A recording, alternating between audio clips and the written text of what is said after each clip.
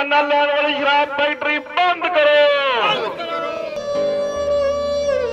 ਇਹਨਾਂ ਦੀ ਜਿਹੜੀ ਜ਼ਮੀਨ ਸੀ ਤੇ ਇਹਨਾਂ ਦਾ ਘਰ ਸੀ, ਬਿਲਕੁਲ ਇਹ ਜਿਹੜੀ ਸ਼ਰਾਬ ਫੈਕਟਰੀ ਹੈ, ਇਹਦੇ ਨਾਲ ਸੀ। ਪਹਿਲਾਂ ਉਹਨੂੰ ਕਾਲੀਏ ਪੀਲੀ ਪੀਲੀਏ ਦੀ ਪ੍ਰੋਬਲਮ ਆਈ ਪਾਣੀ ਦੇ ਕਾਰਨ। ਇਹਨਾਂ ਦੇ ਪਾਣੀ ਕਾਰਨ ਇਹਨਾਂ ਦੀ ਆਪਣੀ ਕਿਡਨੀ ਦੀ ਪ੍ਰੋਬਲਮ ਆ ਗਈ। ਘਰ ਦੇ ਵਿੱਚ ਕਮਾਉਣ ਵਾਲਾ ਬੰਦਾ ਇਹੀ ਇੱਕ। ਇਹਨਾਂ ਨੇ ਨਾ ਕਈ ਵਾਰਾਂ ਮੇਰੇ ਨਾਲ ਫੋਨ ਤੇ ਗੱਲ ਕਰਨੀ ਵੀ ਵੀਰ ਜੀ, ਸਾਨੂੰ ਪੀਣ ਲਈ ਗੰਦਾ ਪਾਣੀ ਸਾਡਾ ਹੋ ਗਿਆ, ਪਾਣੀ ਸਾਨੂੰ ਸਾਫ਼ ਨਹੀਂ ਮਿਲਦਾ। ਸਾਨੂੰ ਸਾਡੇ ਮੂਹਰੇ ਪਈਆਂ ਲਾਸ਼ਾਂ ਦਿਸਦੀਆਂ ਵਾ। ਤੇ ਅੱਜ ਮੈਨੂੰ ਲੱਗਦਾ ਇਸ ਤੋਂ ਵੱਡਾ ਕੀ ਸਬੂਤ ਹੋਊਗਾ? ਮੋਰਚਾ ਸਾਡਾ ਚੱਲ ਰਿਹਾ ਵਾ, ਅਹ ਕਮੇਟੀਆਂ ਬਣੀਆਂ, ਕਮੇਟੀਆਂ ਆਪਦੀਆਂ ਕਾਰਵਾਈਆਂ ਕਰ ਰਹੀਆਂ ਵਾ ਤੇ ਨਾਲ ਦੀ ਨਾਲ ਸਾਡੀਆਂ ਲਾਸ਼ਾਂ ਵੀ ਆ ਰਹੀਆਂ ਵਾ। ਨੌਜਵਾਨਾਂ ਦੀਆਂ ਲਾਸ਼ਾਂ ਆ ਰਹੀਆਂ ਵਾ।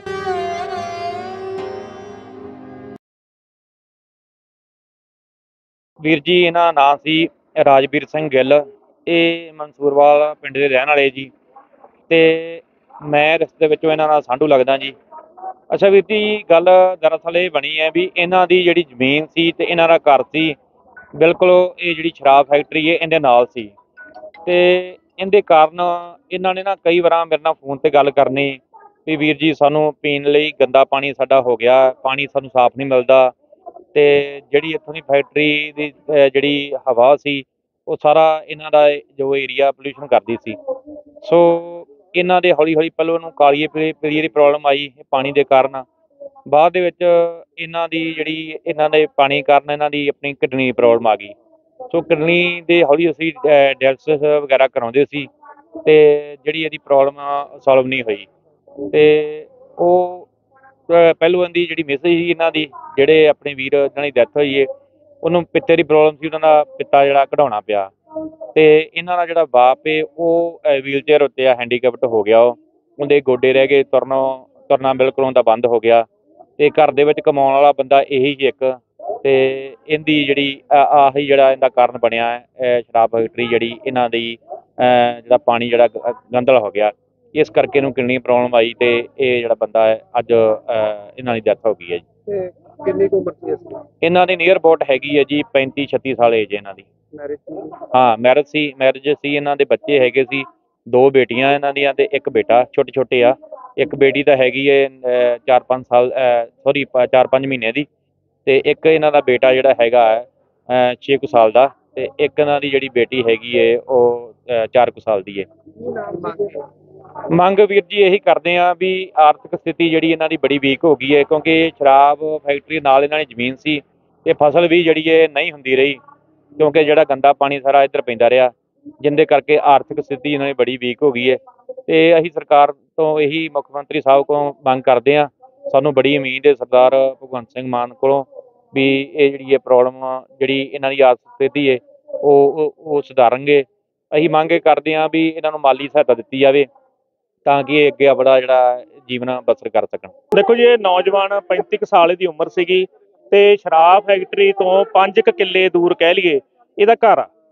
ਇਹ ਨੌਜਵਾਨ ਗੁਰਦਿਆਂ ਦੀ ਬਿਮਾਰੀ ਤੋਂ ਪੀੜਤ ਸੀਗਾ ਤੇ ਡਾਇਲਸਿਸ ਵਗੈਰਾ ਹੋ ਰਹੀ ਸੀਗੀ ਤੇ ਰਾਤ ਇਹਦੀ ਮੌਤ ਹੋਈ ਹੈ ਜਿਹੜੀ ਅਸੀਂ ਗੱਲ ਪਹਿਲਾਂ ਕਹਿੰਦੇ ਸੀਗੇ ਵੀ ਇਸ ਸ਼ਰਾਬ ਫੈਕਟਰੀ ਦੇ ਖਰਾਬ ਪਾਣੀ ਕਾਰਨ, ਇੱਥੋਂ ਦੇ ਵਾਤਾਵਰਣ ਖਰਾਬ ਕਾਰਨ ਇਹ ਮੌਤ ਹੋਈ ਹੈ ਇਕੱਲੇ ਇਹ ਘਰ ਹੀ ਨਹੀਂ, ਹੋਰ ਬਹੁਤ ਸੇ ਘਰ ਆ, ਬਹੁਤ ਪਿੰਡਾਂ ਦੇ ਵਿੱਚ ਬਹੁਤ ਪਰਿਵਾਰ ਆ, ਜਿਹੜੇ ਇਹਦੀ ਭੇਟ ਚੜ ਚੁੱਕੇ ਆ।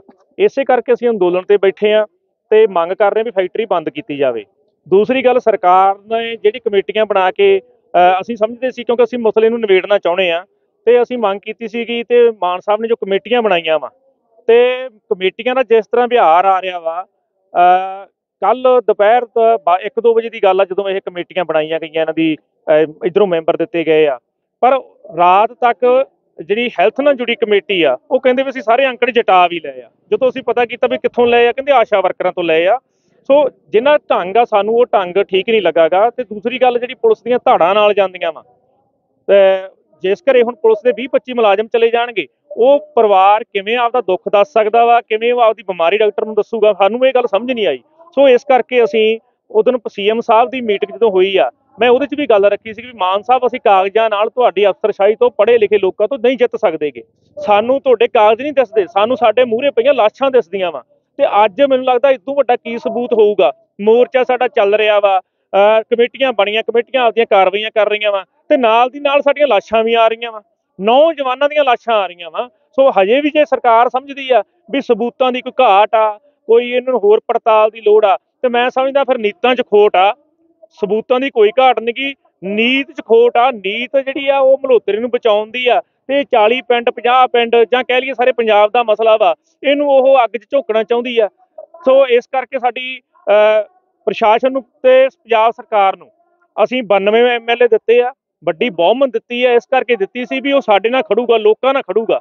ਤੇ ਅਸੀਂ ਮੰਗ ਕਰਦੇ ਹਾਂ ਵੀ ਇਸ ਫੈਕਟਰੀ ਨੂੰ ਸਰਕਾਰ ਫੈਸਲਾ ਲਵੇ ਤੇ ਫੌ- ਫੌਰੀ ਤੌਰ ਤੇ ਇਹਨੂੰ ਬੰਦ ਕਰੇ। ਇੱਕ ਇਹ ਪਤਾ ਲੱਗਾ ਹੈ ਕਿ ਤੁਸੀਂ ਮੈਂਬਰ ਜਿਹੜੇ ਕਮੇਟੀ ਦੇ ਦਿੱਤੇ ਸੀ ਉਹ ਵਾਪਸ ਲੈ ਲਏ ਗਏ ਆ। ਹਾਂ ਉਹ ਅਸੀਂ ਅੱਜ ਜੋ ਸਵੇਰੇ ਪਤਾ ਲੱਗਾ ਵੀ ਸਾਡੀਆਂ ਅੱਜ ਦੋ ਕਮੇਟੀਆਂ ਇੱਕ ਤਾਂ ਜਿਹੜੀ ਹੈਲਥ ਨਾਲ ਸੰਬੰਧਿਤ ਕਮੇਟੀ ਆ ਜਦੋਂ ਜਾ ਕੇ ਅਸੀਂ ਉਹਦੇ ਪਤਾ ਪ- ਕੀਤਾ ਵੀ ਤੁਸੀਂ ਅੰਕੜੇ ਏਡੀਸੀ ਦੇ ਕਿਵੇਂ ਇਕੱਠੇ ਕਰ ਲਏ ਉਹ ਕਹਿੰਦੇ ਵੀ ਅਸੀਂ ਆਸ਼ਾ ਵਰਕਰਾਂ ਦੀ ਡਿਊਟੀ ਲਾਈ ਆ ਤੇ ਆਸ਼ਾ ਵਰਕਰਾਂ ਨੇ ਸਾਨੂੰ ਦੱਸਤਾ ਪਿੰਡ 'ਚ ਵੀ ਐਸੇ ਇੱਕ ਅ, ਮਰੀਜ਼ ਆ ਕੈਂਸਰ ਦਾ ਫਲਾਣੇ ਪਿੰਡ 'ਚ ਦੋ ਮਰੀਜ਼ ਆ ਕੈਂਸਰ ਦੇ ਤੇ ਉੱਥੇ ਬੈਠਿਆਂ ਹੀ ਪ੍ਰਸ਼ਾਸਨ ਵਾਲੇ ਉੱਥੇ ਵੀ ਚਲੇ ਗਏ ਮੈਂ ਮੈਂ ਜਦੋਂ ਬੈਠਾ ਹੋਇਆ ਸੀ ਉੱਥੇ ਉਸ ਤੋਂ ਬਾਅਦ ਜਿਹੜੀ ਗੜਵਾਸੂ ਨੇ ਬਣਾਈ ਆ ਪਸ਼ੂਆਂ ਦਾ ਚੈੱਕਅਪ ਕਰਨ ਵਾਸਤੇ। ਹੁਣ ਜਿਹੜੇ ਸਾਡੇ ਮੈਂਬਰ ਦਿੱਤੇ ਆ ਜਾਂ ਡਾਕਟਰ ਸਾਹਿਬਾਨ ਆਏ ਹੋਏ ਆ ਡਾਕਟਰ ਸਾਹਿਬਾਨ ਲੁਧਿਆਣੇ ਤੋਂ ਆ ਰਹੇ ਸੀ, ਰਸਤੇ 'ਚ ਫੋਨ